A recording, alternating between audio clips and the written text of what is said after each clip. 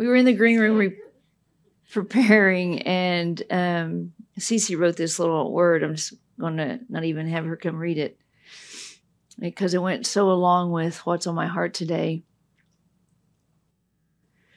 Um,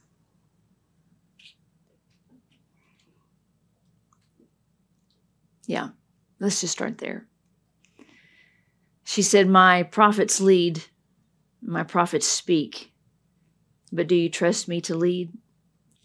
There's a flow of where these words will go. Do you surrender to the flow or take hold of my words as a tool of your own? Prophecy is meant to provoke reverence first and foremost. Surrender is required to benefit from what has been poured out. For the pouring is but an invitation to what is flowing. Love that line. Your mental understanding of what is released should never be in the lead. Oh, God, help us. You can still go ahead and say that. Oh, God, help me. Sorry for y'all. It's weird coming into a prophetic house as opposed to the pastor led house. I know. I feel I feel compassion for you. Okay, a little bit. You aren't called to carve out the river ahead. I love that line. Rodriguez. Of the word, for every drop wetting your whistle is to turn your attention to the waters already surging. Your mental gymnastics erect only walls. They imprison you and block your view. Open the blinds, release your mind. You must revere the seed giver before harvesting the fruit. Another really good line. Trust in the flow and which way I go. Surrender to my ascension, and in my footsteps you will follow. I love that. I'm I've got about another 10 titles. I didn't have time to make slides for you today because I was celebrating Lynn. And might I say, we saw a movie that had to do with resurrection from Marvel. How who would have ever dreamed? Anyway, it was kind of fun. But I think I would entitle today Beyond the Door. I did make a little slide for that, but I don't know yet. But um Did it do something fun? Sweet. Who, who was a whistle? When I when I was just a child. I feel like that should be in song form. And we don't even really like musicals, do we? Easy, no judging. I get to not like them.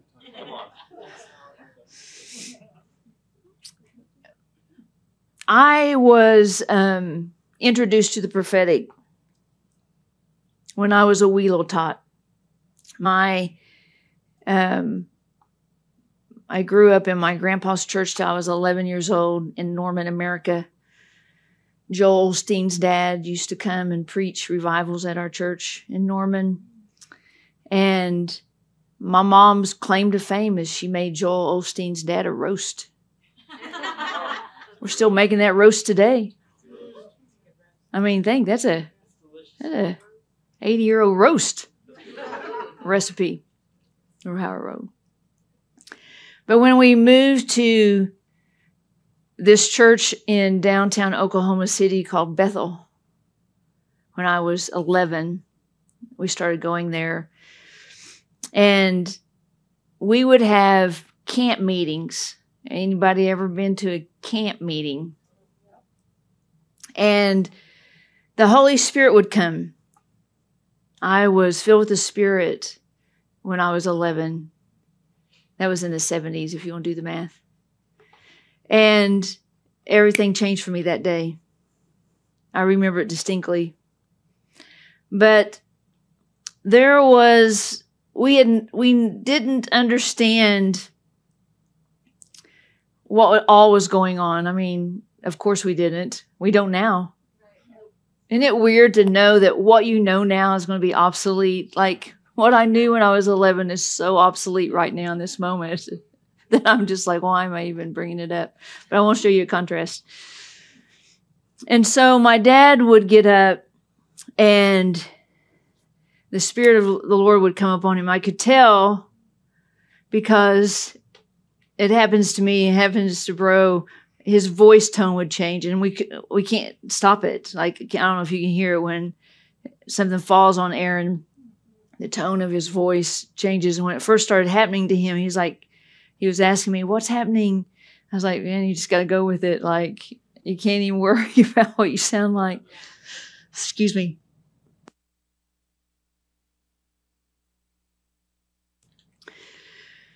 And so my dad would get up and he'd walk the aisles and he would prophesy much like an Old Testament prophet would, because that's all we knew.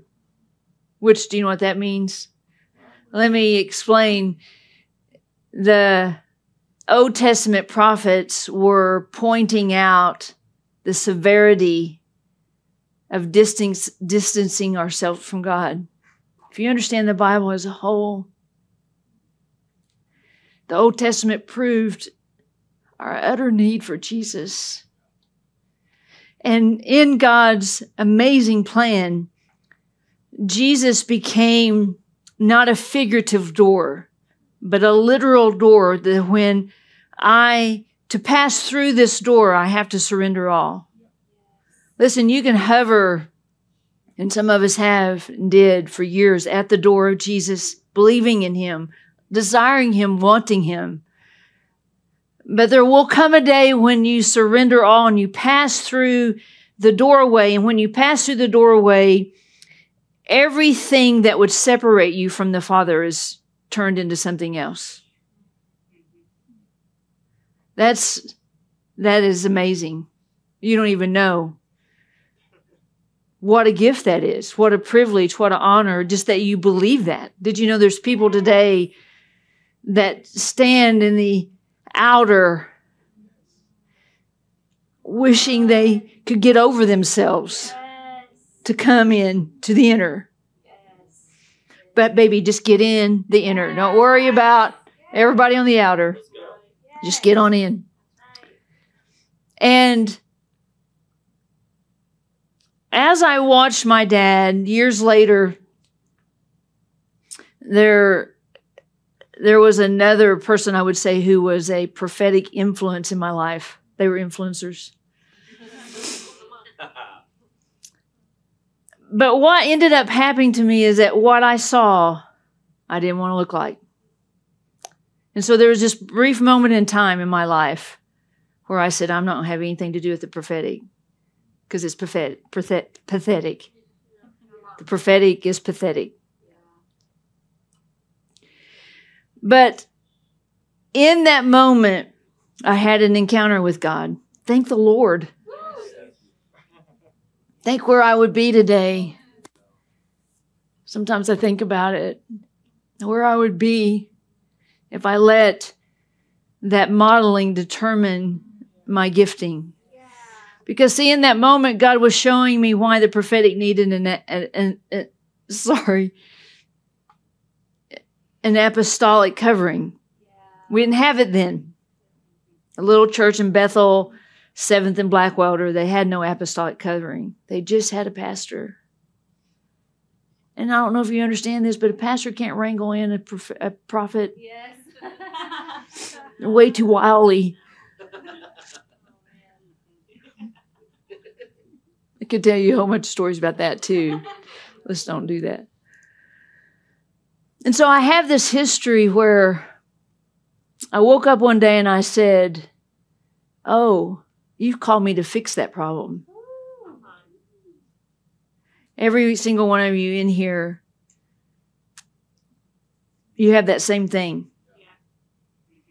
All those things that offended you or that you said, I'm never going to be a part of, or I'm not going to do it that way, or he's saying, mm, you're going to fix that problem.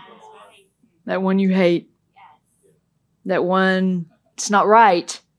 It's not right, and you can see it for a reason. And so I had to learn how to be diplomatic with prophets. because they're weird. Prophets are weird from from my perspective. I don't consider myself a prophet. I consider myself apostolic. I can see why you're weird. You know, Tessa sent me the weirdest dream I think I've ever known. And in the dream, she said, I was just narrating what was going on, just like this right here. Just, well, that crazy thing's happening, that crazy thing's happening, that crazy thing's happening. I don't know how many bunch of y'all dreamed about me this week.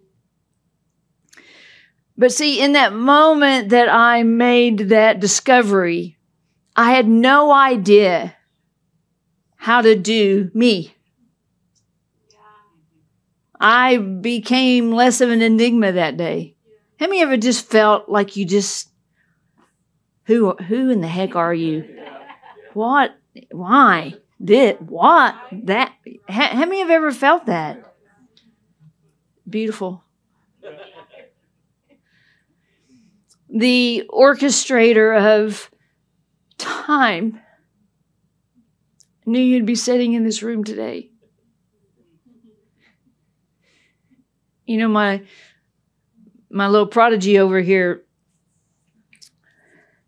Bubba Gump Shrimp.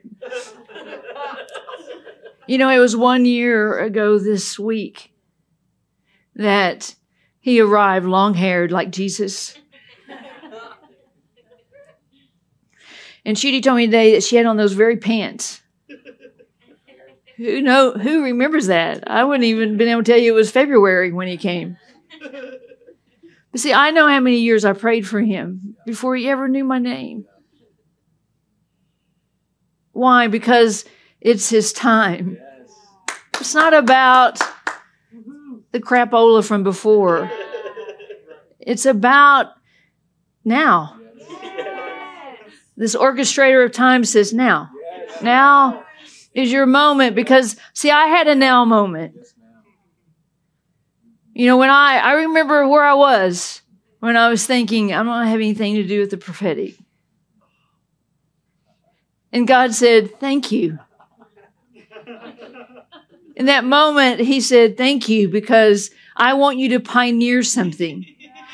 See, let me help you. Your leadership ability is not gender oriented, it's gift oriented.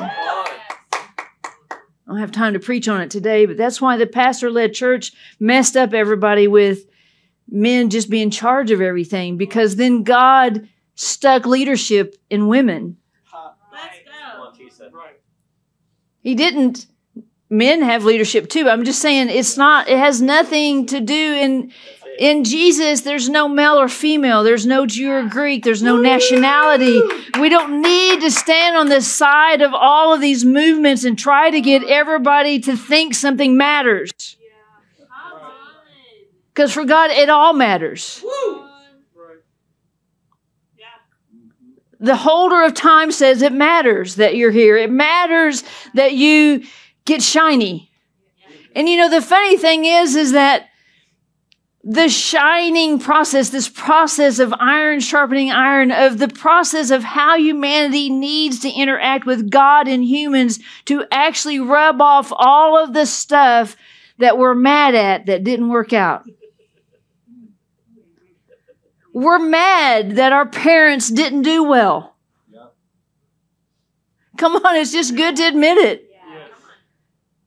And so God says, just like he said to me, when I realized I didn't want to do the prophetic that way, that became the door to pioneering something. As long as I stood over here on this side and said, shouldn't have been that way. They shouldn't have done it that way, pointing out. How many know that prophetic people, they just point out all the stuff that's wrong everywhere? Listen, they get you nowhere. It's only the ability to see.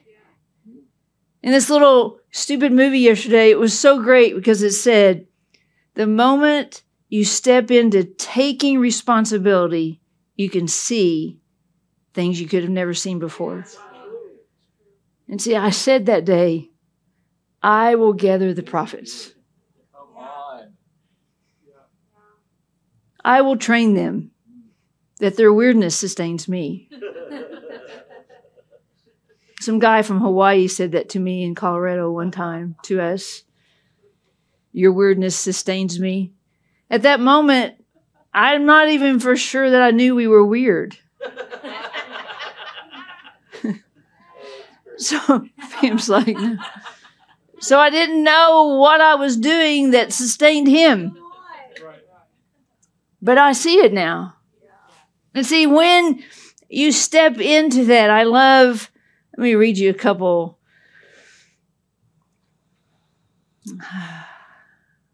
of scriptures.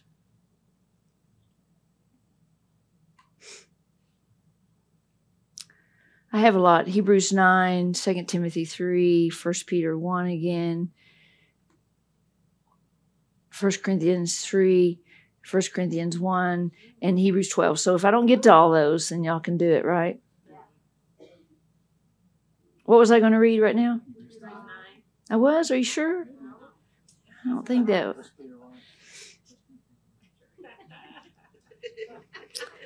First Peter 1 says, So prepare your hearts and minds for action. Just think about that for a minute. Which one of those things needs more preparing for you? Some of y'all's hearts are super willing, but your mind is filled with chaos from the past. Some of you, your heart is kind of aloof. You're like, that's cool. And then your mind's messed up. No, I'm just kidding. Remember what that, I like the passion. He says, fasten your seatbelt. Roll up your sleeves. Stay alert. Fix your hope firmly on the marvelous grace that's coming to you. See, when I step through this proverbial door of Jesus, not only did the grace pull me in, but grace then saturates me completely. Yeah. The power to change. The power. Listen, I'm resurrected. How, how we not know this? How do we not talk about this? Everybody's talking about it now. I'm resurrected the moment I've surrendered. I come into Jesus. I am resurrected in that moment in this movie. It was so good, wasn't it? Yeah. This girl literally fell into the water and was resurrected. It's it's weird how there's displays even in the world. I, mean, I am sure no one at Sony knew why they dunked that girl two times. But I could see it. It was just right there. It was so clear it's a mirror of what the supernatural is doing in people's lives. If you can see it, it's all metaphor. And so this grace, it's it's marvelous, it's what it says, but it's it's so enough. The supernatural word satisfactory. It satisfies all of the stuff I can't get over. It's the power to leap over the things of my past that still try to come against me, that still try to infiltrate my mind to try to convince me I just need to do something else. This is too hard, whatever. It says, For when Jesus Christ is unveiled, a greater measure of grace is released to you. What makes Jesus unveiled to you?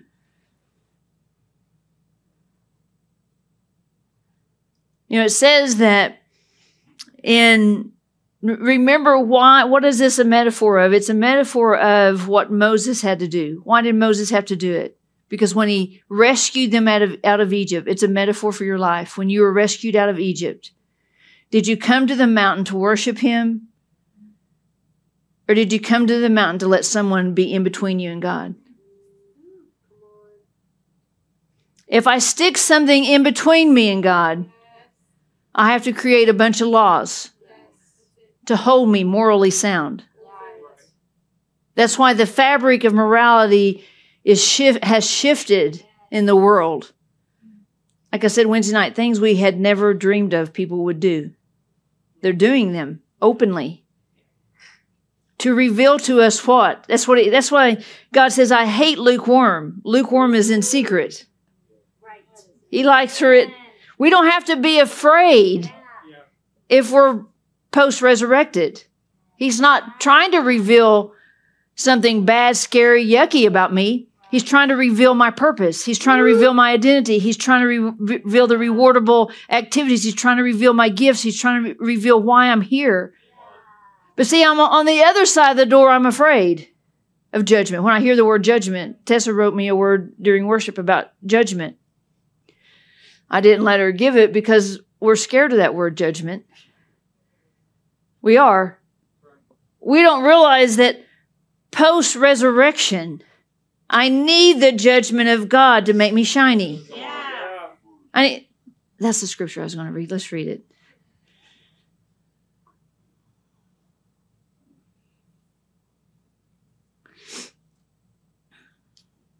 Just one bad thing about being electronic. You are rising, Ephesians 2. You are rising like the perfectly fitted stones of the temple, and your lives have been built up together upon the foundation laid by the, the apostles and prophets. Best of all, you're connected to the head cornerstone of the building, the anointed one, Jesus Christ Himself. This entire building, what's that building? The ecclesia. You're perfectly fitted this entire building is under construction. So if you're in the ecclesia, you're under construction. And is continually growing under his supervision until it rises up completed as the holy temple of the Lord himself. This means that God is transforming each one of you into the Holy of Holies, his dwelling place through the power of the Holy Spirit living in you. So what's, that's his objective right there. When Moses gave when God told Moses to build this um, way for the sins of the people to be satisfied with God, why is that necessary? Because I have a conscience. I talked about that a few weeks ago. And so that needed to be satisfied for me to live as if I've never sinned. So he made a way so they would bring all their sins one time a year. And what would happen? the priests would go and remember what they did when they went into the holy holies. They they tied a rope around his leg. Oh man, think about that for a minute. I'm the guy. If he if you heard him go, and they just pulled him out by the rope because it was too much. Jesus satisfied all that. You don't need to tie a rope around your leg anymore. All of that was just the display of how much we needed Jesus. But Jesus satisfies all of that and says the Holy Spirit's intention is to make you the Holy of Holies. What? We don't even know what that means.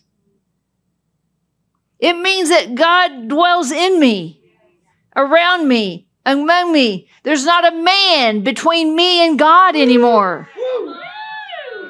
The door allow me to step into placement. Placement matters. You know, when you read the stories of Jesus' last moments, John, he, you know, if you go to the, I think it's the last chapter of John, he literally says, the disciple that Jesus loved. That's what he says about himself. The one that runs fast. He literally says that the last thing he wants us to remember was Peter was tattletelling on him, wanting to know, what about that guy? Oh gosh, let's read it for fun. It's a fun, it's a fun one. John 21, it says Jesus appeared once again with a group of his disciples by Lake Galilee. It happened that that day there's Peter, Thomas, the twin, Nathaniel, Jacob, John,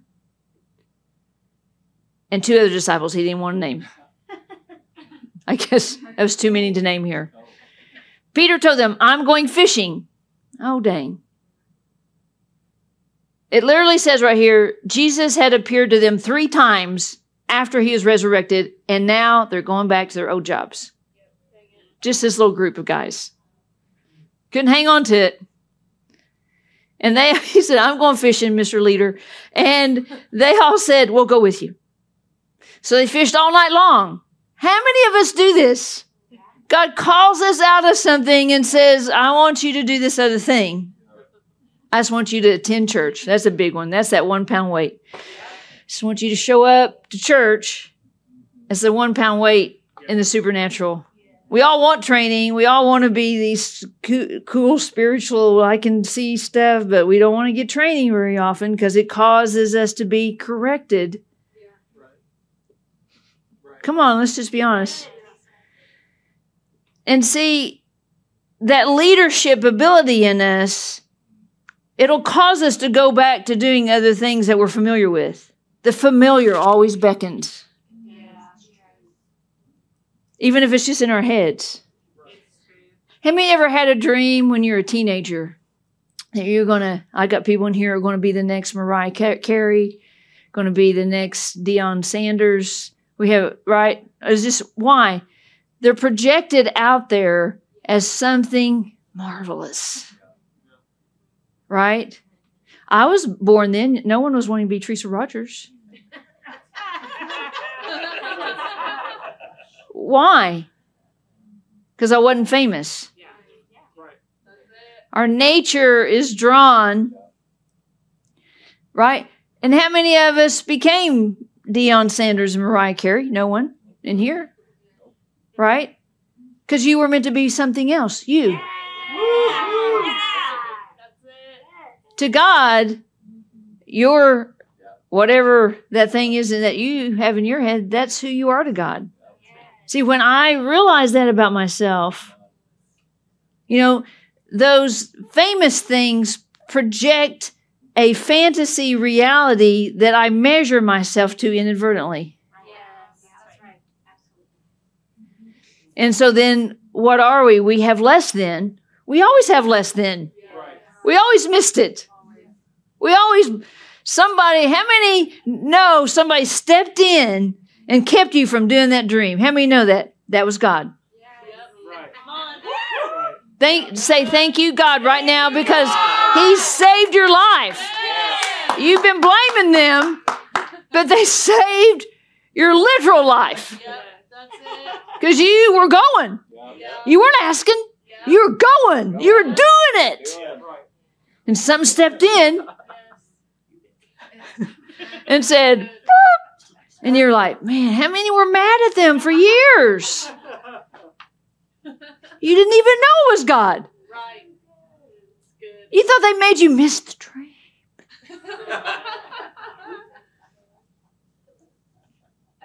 so that's that here they are. They're going back to their old life. It says Jesus standing on the shore says, Hey, did y'all catch anything? He knew the answer.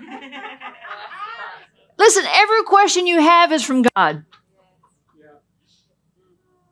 Bye. Every question you have is from God. Every question. Why? He has an answer. If you got a question, Jesus is asking it. He's on the shore of your proverbial dream, your life. And he's like, hey, did you catch anything? I think this is the funniest story ever.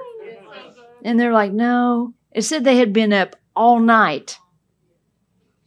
And so he said, throw your net on the other side.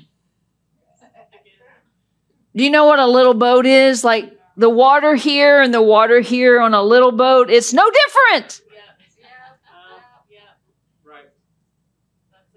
Listen, you may have been in ministry. You maybe think you're in the water. Easy move. The water's the same, but it's when he says, throw it over to the other side. Move over to this other thing. Thank you. Got a golf clap in the back. they caught so many. And then it says this here's John. Then the disciple whom Jesus loved said, Peter, it's the Lord.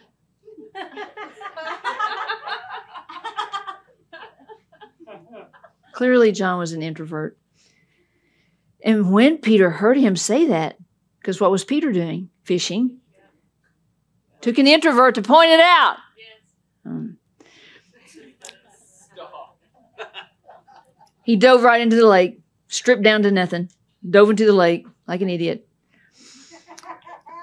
The other disciples brought the boat to shore, you know, got other fish, blah, blah, blah, did all that. This is what's funny to me. Let's go down 13. Jesus came close to them, verse 13, served them bread and, and fish. Jesus was already cooking up a fish dinner. And it says, This was the third time Jesus had appeared to his disciples after the resurrection. And he said to Peter, Simon, son of Jonah, do you burn with love for me more than these? Peter said, Yes, you know, I have great affection for you. And he said, Take care of my lambs. And he repeated the question, Simon, son of Jonah, do you burn with love for me? And he said, Lord, you know I have great affection for you. He said, Take care of my sheep. And Jesus asked him again, Peter, son of Jonah, do you have great affection for me? And Peter was sad because he was asked three times. And he said, My Lord, you know everything. You know I burn with love for you. And Jesus said, Then feed my lambs. He said, When you were younger, you made choices of your own. You went where you were where you pleased, but one day when you're old, others will tie you up and escort you where you would not choose to go, and you'll spend spread out your arms. Jesus said this to Peter as a prophecy of what kind of death he would die. And then, and then he said, Peter, follow me. See, what Jesus was doing was, I believe personally, that Jesus was letting people, Peter, have an experience of what it's like for him to keep asking, Are you going to keep choosing me? he had just asked him three that he had just come to them three times. A lot of people say this is the restoration of Peter because of the three times he's denied him, but I don't believe that. I believe he had already come, he had already showed himself three times to them, and then Peter still picked fishing. Listen, this is such a good. If you could get, if you can be with me on, so he's what's what's happening is he's saying, "I saw you in the upper room.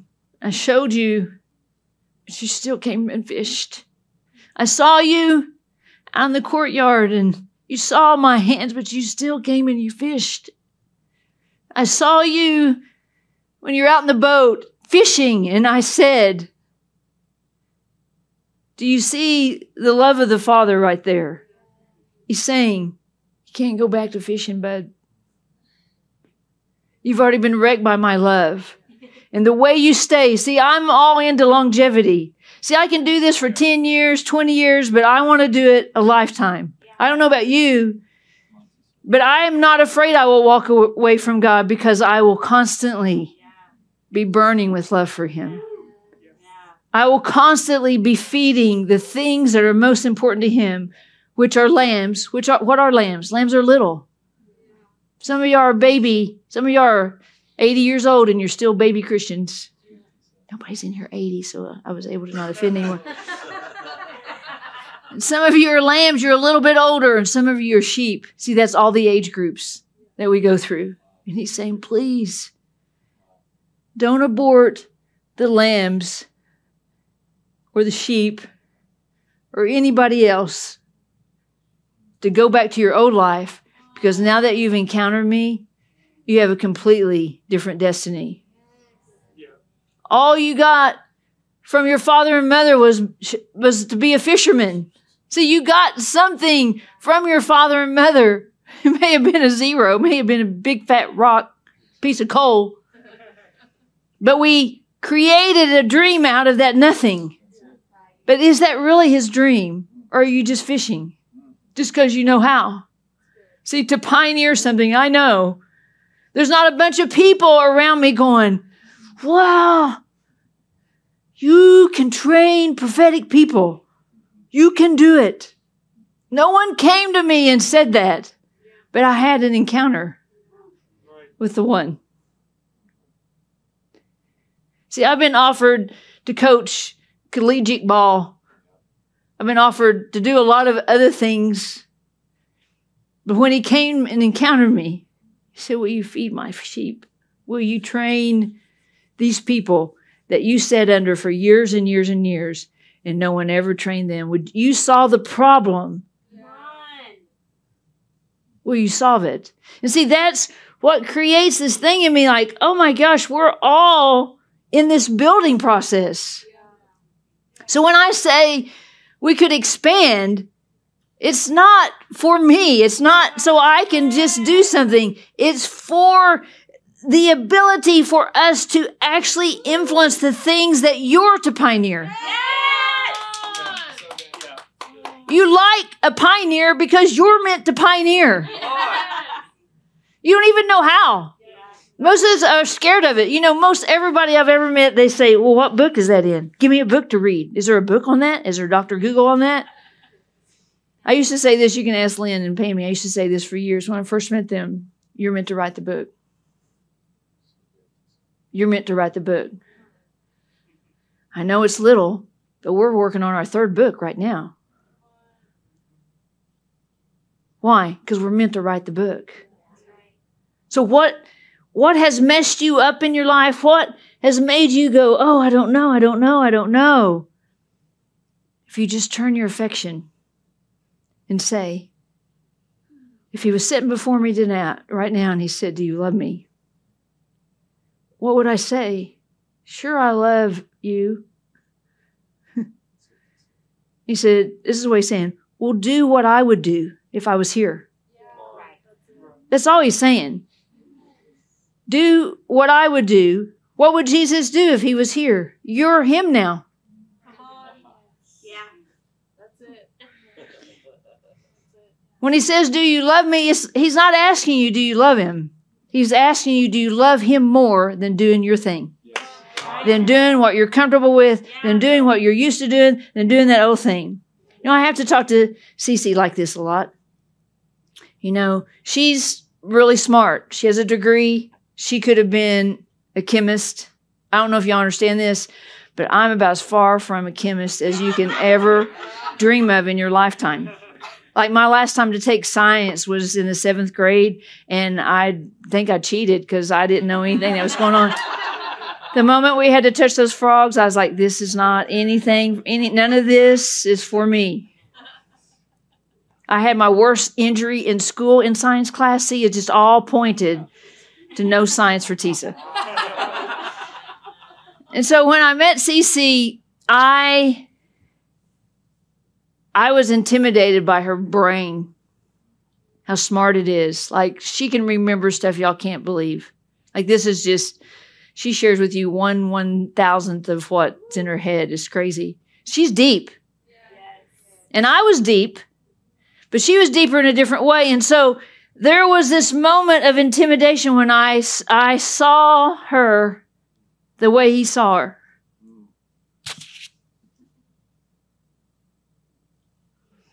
And I said, I don't even know that I can. I don't even know if I can train something that smart because I don't feel that smart. But see, it wasn't about me. He just said, Do you love me? I remember he said to me, She's gone as far as she can go without somebody taking her under their wing. And I, I just kept hearing him say, Do you love me? Do you love me? Do you love me? You know, I sit in a room full of prophetic people that I know are way more gifted than me. But I don't ask myself, I can't get over there next to their gifting and compare. I would be consumed. but I just breathe on how much He loves them. When I see something, I called Aaron the other day and I was like, hey, you need to readjust this little area of your life. Well, there's not, I don't get any joy in that. I'm shaking as I refine him because I have so much love for him. I wouldn't want him to get one mark. So y'all don't know. I, I'm watching over. I'm sending out Pam's and Lenny's and all kinds of people to what? To figure out where you are, how you're doing. Because why? Because he just keeps saying, Do you love me? Do you love me? Then do what I would do. Do you love me? Listen, he's asking you that today. Do you love me? Then do what he would do. Don't do what you would do. Don't go fishing, please. Because you're not going to catch anything. And he might not be at the shore with a fish dinner. He would be, but you get my point. Because why? He's constructing something with your life. It's your time. This is your time. This is your time. I can't say it enough. He's pouring out his spirit. He's brought us into the understanding. I have an understanding of how to train prophetic people. I don't know where I got it. No one came and gave me this book. I just had this download because he just said, do you love me? You look way better refined than you do fishing. And just think of all the people. You know, I had a little guy wanting counseling this week and just a young little whippersnapper. And I I asked Aaron and Vinton, I said, I said, I didn't tell them much about him. I just said, let just I just let God love you, love him through you. You know, later I think Tessa told me Vinton even had a dream about him, but what happened? I love the comment. He said, I didn't really expect anything when I came. It's men with those great big expectations. But he said, But I, I'm leaving. I feel like a million dollars. Why? He's just saying, Do you love me? Do you love me? Then do what I would do build what I would build, pioneer what I would pioneer. I know it doesn't exist, and I know you wish you could just snuggle your little feathers up underneath something, but you're meant to pioneer. You're meant to be trained. You're meant to be equipped. You're meant to be refined, and you've got to get underneath where the refining can happen. We can all go rogue. Y'all have all been rogue. Every prophet I've ever met has been rogue. Everybody can do that. That didn't take nothing. It takes a ton for you to reach out and say, I don't know about this decision. I'll help you clean up your mess, but wouldn't it be great if we quit making them? Wouldn't it?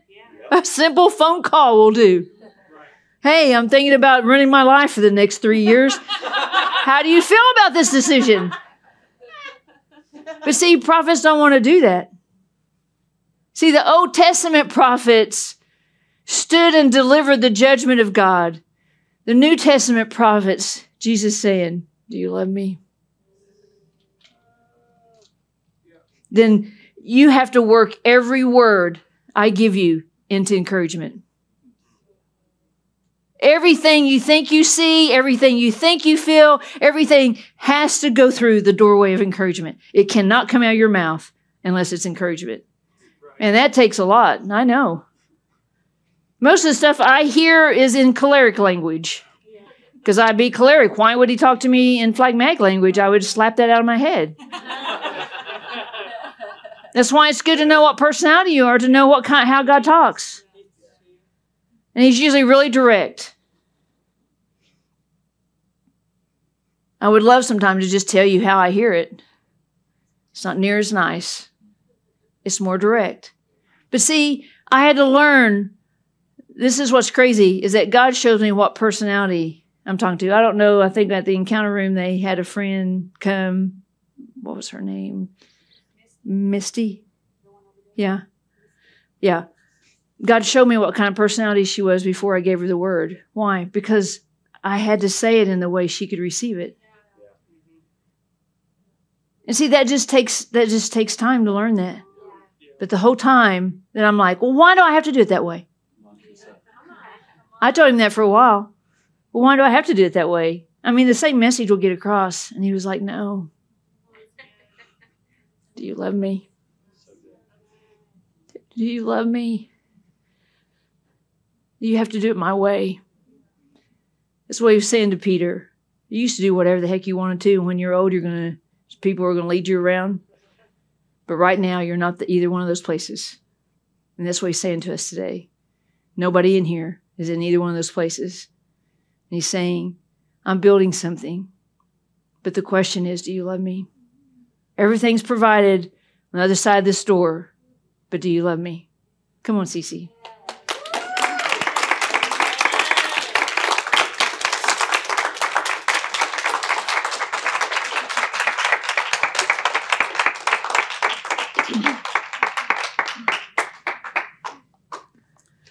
Aren't you so glad that Tisa loves Jesus? I mean, that's the simplest thing we could celebrate and say thank you for. Thank you so much, Tisa. Let's just all stand up and just give her a round of applause and express our gratitude for her love for Jesus.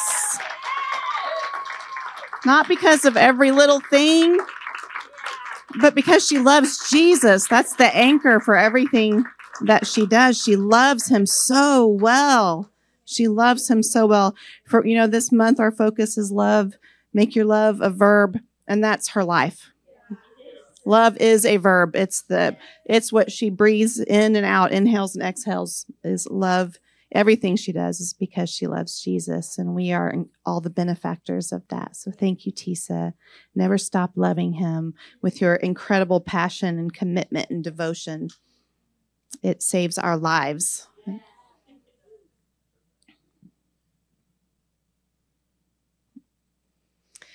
You know, um, I had a dream last night that um, I didn't couldn't remember very many details about it, but um, it basically was that there there's an order to things. You could say there was a first step and a second step. There was a phase one and a phase two, and somebody was telling me that people were doing them in the wrong order, and that explained the condition of things. People were doing this phase two before phase one, step two before phase one. Now that was very generic. I mean, general. You know, I didn't know what that what we were referring to, and um, Tisa already read that little prophetic word that I had from him earlier. Um, just while I was in the green room, um, I started to hear him speaking on that about how uh, I think it was saying more than one thing, but basically the prophetic is an invitation to what he's speaking and to what he's doing into a flow that he's doing. We we don't aren't meant to take that in our hands as a tool to wield by ourselves. And so that's a big, uh, I think, a tendency for us, especially, you know, we've poured out a, a lot of prophetic words and um, this year just being the beginning of the year and the word of the year. And there's a lot of instruction that comes through that and training. And he's doing a lot and we love that. We love that. But I felt like this was just him saying that we can't get that out of order because it's essentially the same thing that Tisa talked about today. It's going back to fishing with the word he gave us instead of following him, instead of doing what he said, even if we can't see how to get to what he said from where he's led us. You know, there there's a, a, a sensation that you can have. I had that myself the other day with the word about tuberculosis, and I found myself in the days following. I'm like, well, I know this applies to me in this particular area, but I can't figure out how to get there you know? And that's just i have to trust him. We have to trust him in the process of what he's doing. And so that applies to a, lot of things but i think we have to have our love for him be the leader in all that we do. Just like tisa is extremely wise too. She was talking about my my mental capacity intelligence or whatever but she's got years and years of wisdom you know, she's got prophetic words going way back further than, you know, before I was even talking to Jesus. And, you know, so she's got a, a, history and a reservoir of things that she could speak out of that would actually be wisdom and truth and things God has literally spoken before.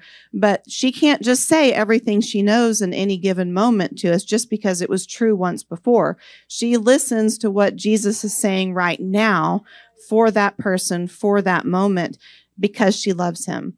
And so that's what we have to do too. We have to keep our love for Jesus in the front we have to keep the relationship with him is what is what is why we're following him you know i was thinking about the identity word and how in that that word about the tuberculosis and all of that that our innocence and the simplicity of our integrity came from knowing what he says about us and it occurred to me that i was just pondering on that more after we shared that word that i have to have reverence for god above my own opinion before that will even impact me. Because if I think that's what we say false humility is, uh, false humility is acting like you're you're just lower than a worm because you feel lower than a worm, but God actually said you're a giant killer. You know, you're actually meant to take territory.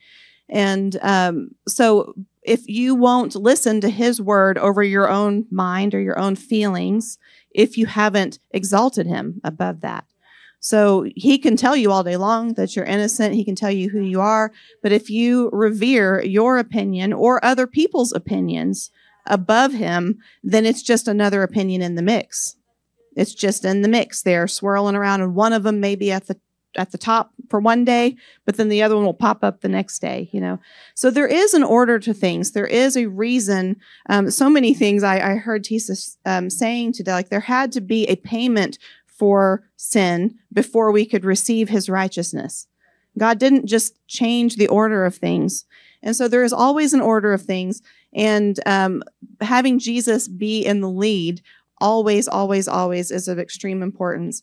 And so I felt it reminded me of this this Psalm 85 that I've been on lately that just has been stirring me up on the inside. And it's just a beautiful, beautiful, um, beautiful scripture and it basically it's it's the um the sons of Korah's clan are singing or have wrote this song to him and it's takes place in a time where the people have sort of been rescued from some sort of calamity. I didn't study it fully out, but I know it has to do with their return to Jerusalem. So maybe it may have been the Babylonians, or I'm not sure what captivity or what stage of things were, but they are like, whew, you've restored Jacob's destiny from captivity. That much we know. So it's it's a position of they're in the process of being restored.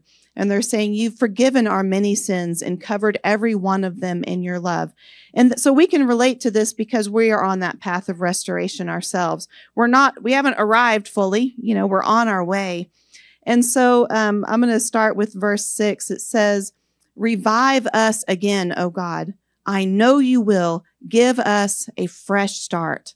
And that's, you know, I, I, say this all the time, but this journey is not just a linear process. It's, it's you, you maybe in one area have gone a little further than you have in another area. And so we're constantly living this out. We should constantly being, uh, experience his conviction. We should constantly need to repent from something because he's constantly showing us some new mindset or new perspective that we have that isn't in line with him. And if we kept following it, we wouldn't be following him anymore. So it's an ongoing process. So we should always say, be saying, revive us again, oh God. I know you will give us a fresh start. It goes on to say, then all your people will taste your joy and gladness even more, more than you. By you following Jesus, you make way for other people to experience his joy and gladness. Pour out even more of your love on us always asking for more. That's a theme of today too. We need more. We want you more. You know, I have to, I constantly have to even put him above when I see him starting to, what it looks like maybe he's answering some prayers, providing something that my heart has cried out for. It's a good practice to even say, I want you more. I want you more than even the answer to my prayer. I want you Holy Spirit, more. I want you, Papa, more. I want to know you as Father. I want to know you, Jesus, as my personal friend, my best friend, my lover. I want you more. I want that relationship with you more than having even my earthly desires satisfied. Then I want you more than feeling comfortable. I want you more than that. That keeps him in the lead.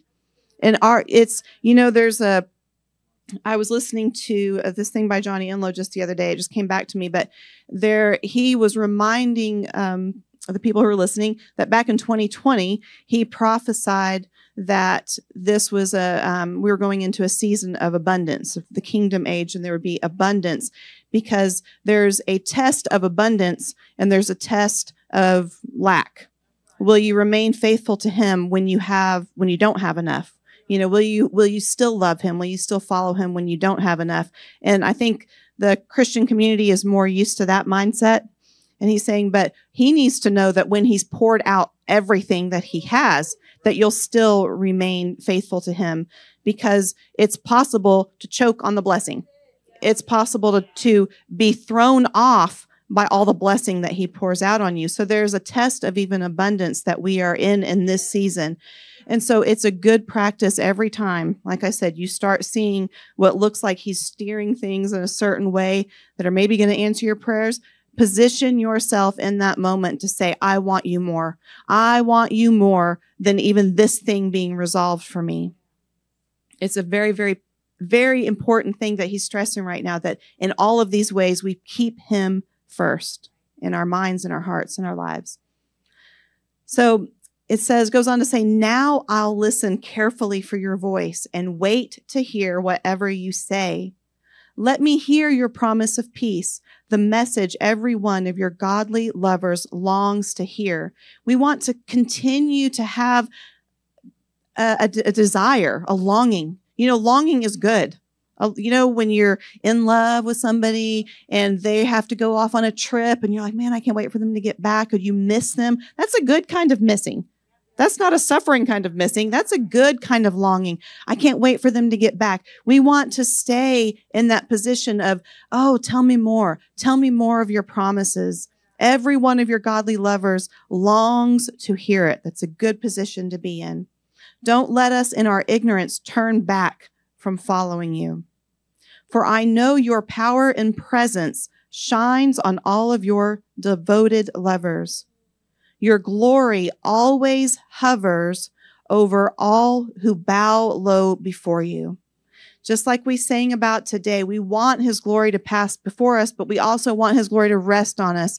Don't just pass by and keep going and then live your and then have to live my life without your glory. We want his glory to rest on us, to stay with us, to be saturating our environment. The way we do that is to bow low.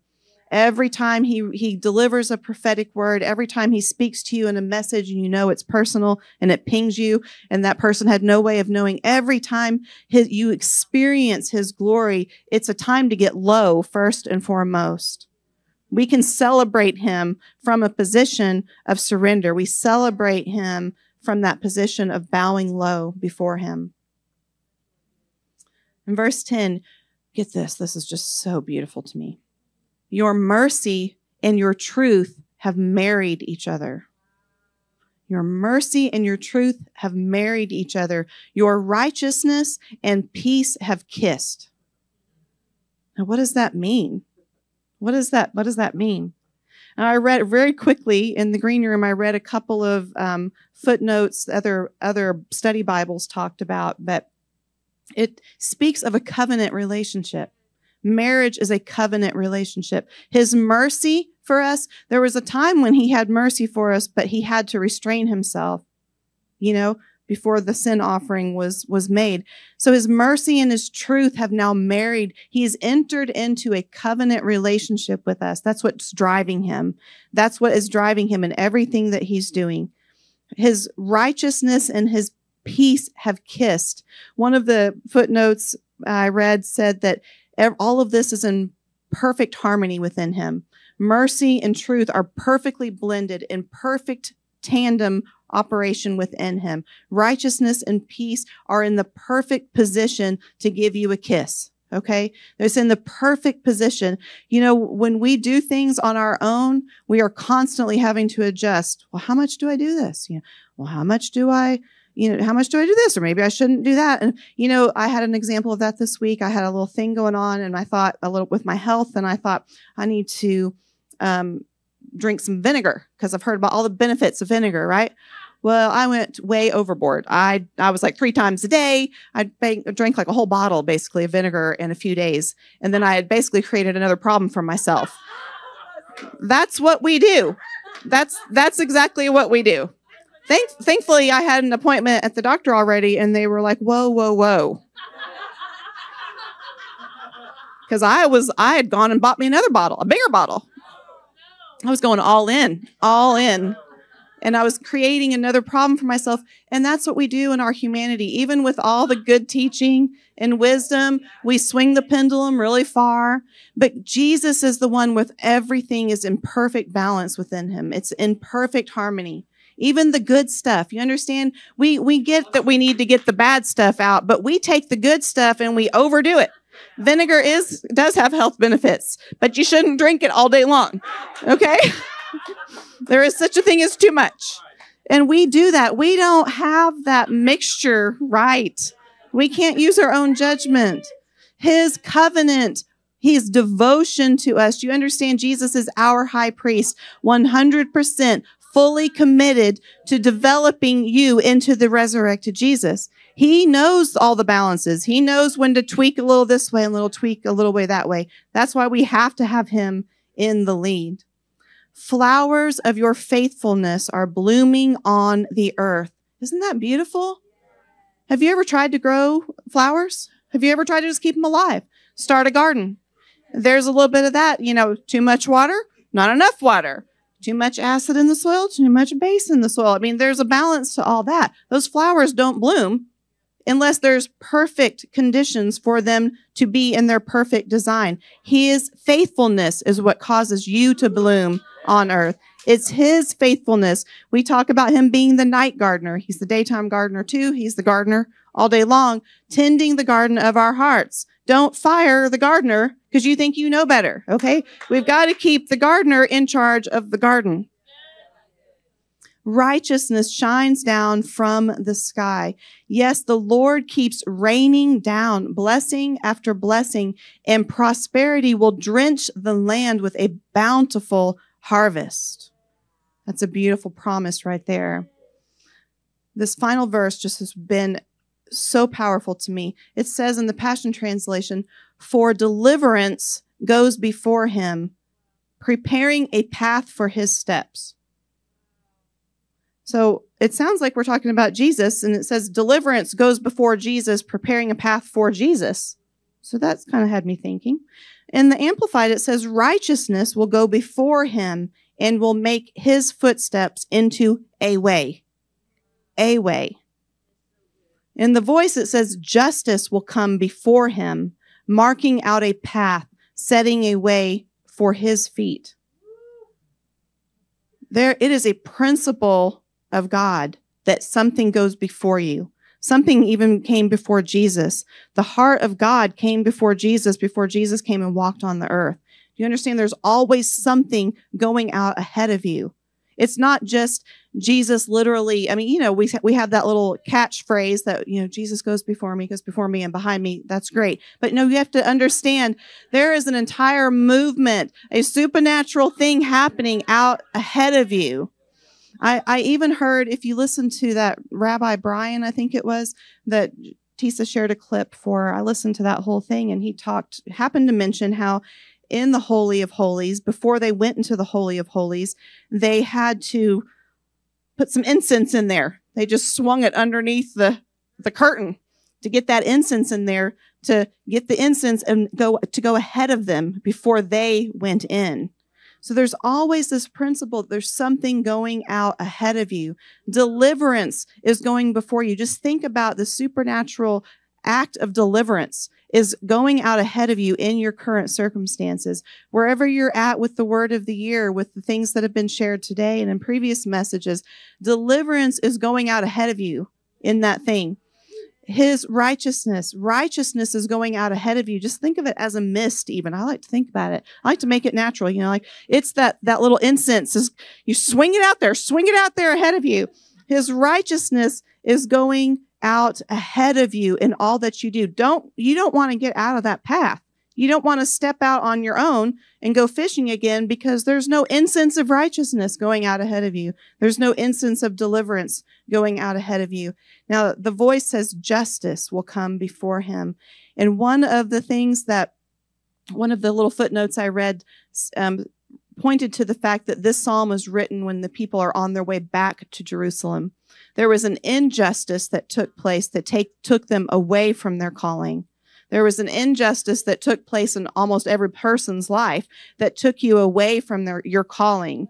There was an injustice that led the way to me getting stumbled up and tripped up and creating a hard heart and all of these things to, you know, Tisa shared in her own life. She could have, have gotten a hard heart against the prophetic in that moment. You know, there was an injustice that she saw happening and she could, that could have led her away, but for the righteousness of God, but for the justice of Jesus that led the way into her actual purpose. So justice was leading the Israelites' way back to Jerusalem to where they were supposed to be. And justice is going out ahead of us. So those things in your life that have happened that feel unjust, they're currently unjust. You know they're not right. Justice itself, okay, the spirit of justice is going out ahead of you in that circumstance. And so you want to stay with him. Just stay the course in your relationship with him, making the love of Jesus and that relationship with him be first and foremost. He said it very specifically to me in a dream. Don't do step two if you're not doing step one. You, you can't and, and that word, I think it said that you have to revere the seed giver before you enjoy the fruit. And you know, that seed, we talk about it all the time. A seed has to go into the ground and die. You cover it up with dirt. You can't even see anything. In fact, it would look like you're throwing, you know, compost on top of it. Like you're, you're almost having to let it go. Like say, okay, well, I could guard this in my hands, but it's not going to grow there. You have to put it into the ground and be, out of reverence for the designer, out of reverence for the one who made the seed, who made the system, who made the flowers bloomed in the first place, without being able to see it, touch it, or impact it, you have to trust and have reverence for the seed giver before you can enjoy the fruit that will eventually grow from it.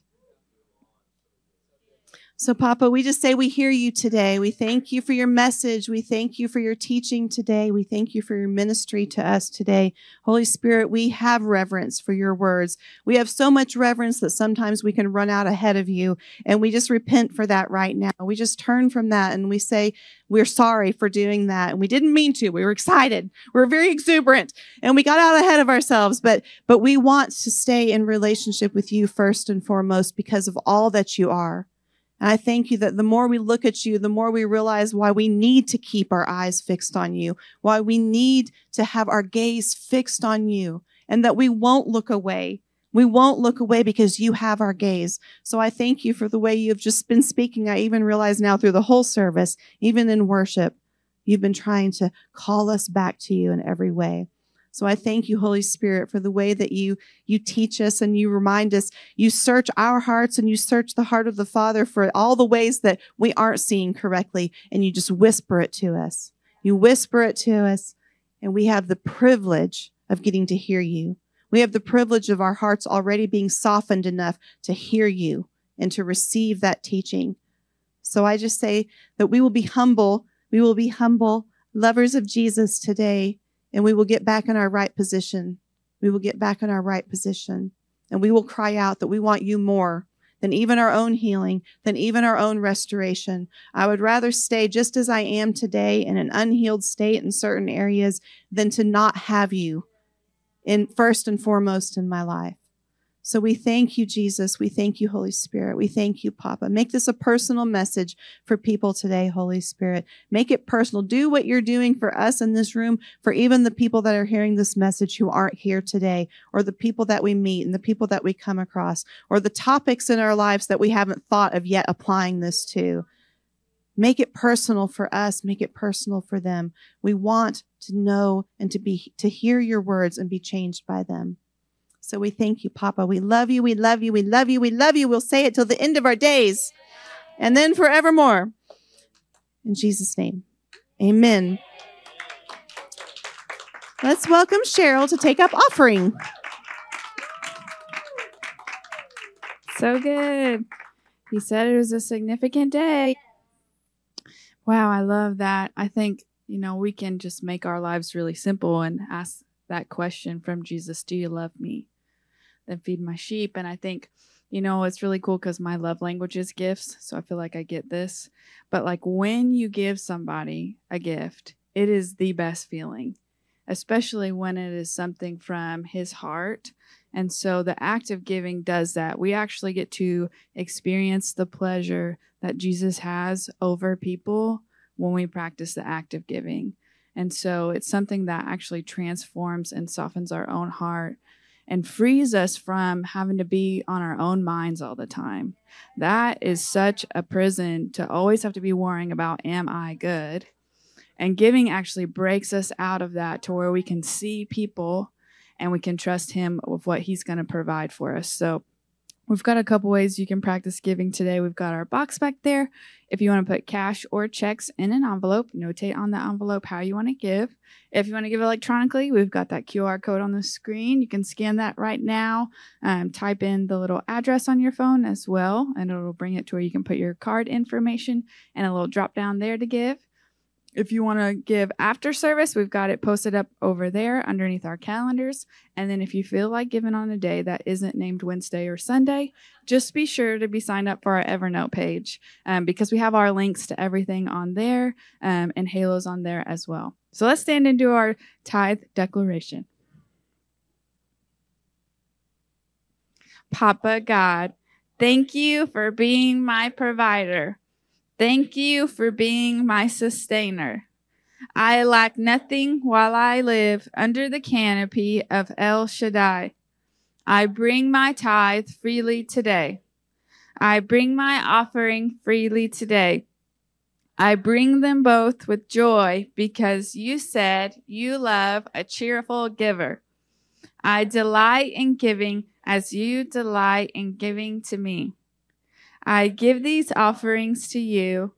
I give these offerings to demonstrate my love for how well you care for me. I yield my life to your direction, instruction, and function. I yield today to bring about your yield in my life. Thank you for caring for me. Freely I have received, freely I give today. In Jesus' name, amen. So, Papa, I just thank you for all the places that you have blessed us to be a blessing. So I bless the tithe and offering today in Jesus' name. Amen.